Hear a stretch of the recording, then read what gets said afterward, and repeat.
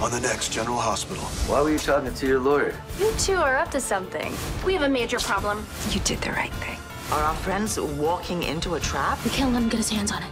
Everything I've ever worked for lies behind this door.